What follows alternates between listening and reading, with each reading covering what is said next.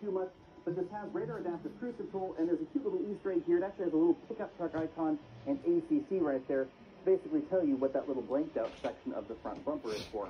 Be sure to let me know what you think about the design of the Maverick down there in the comment section. I think this is a really good looking small truck. Now about that small part, if you think a Ford Explorer is a compact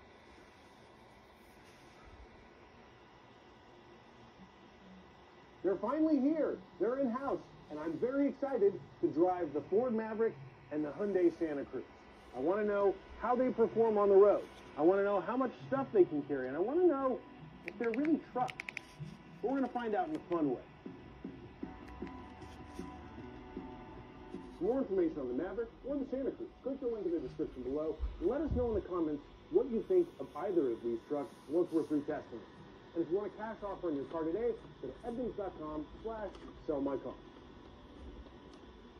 So what do I mean by real truck? Well, lots of truck purists will say that only real trucks are built on body on frame.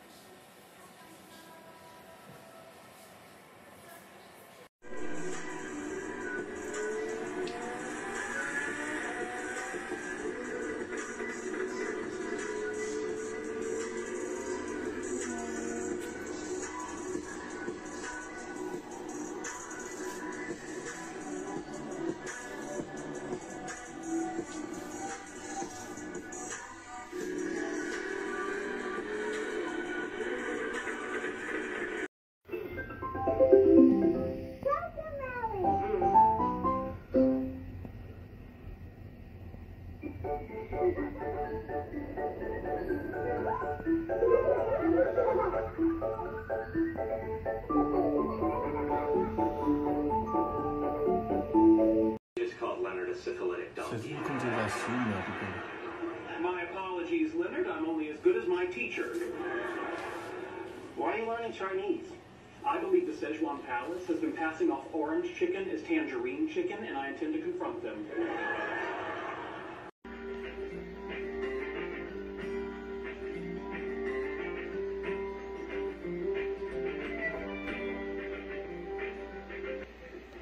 and he was wonderful with Virginia and Austin.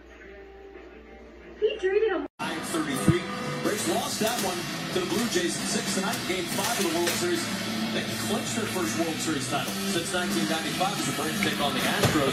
Game five coverage starts tonight right after football right here on Fox and the Fox Sports app. I think you're taking me out to meet your mom. This kind of a clever little plan. Yes, I plan to be setting the plane on fire.